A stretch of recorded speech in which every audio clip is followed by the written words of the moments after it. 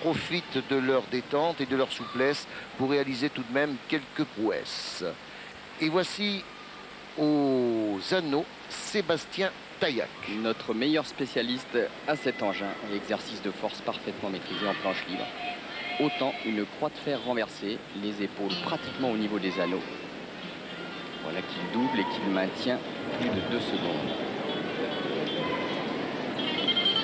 Passage en appui tendu renversé. Il faut maintenir bien entendu, ici après une lune et encore une autre lune.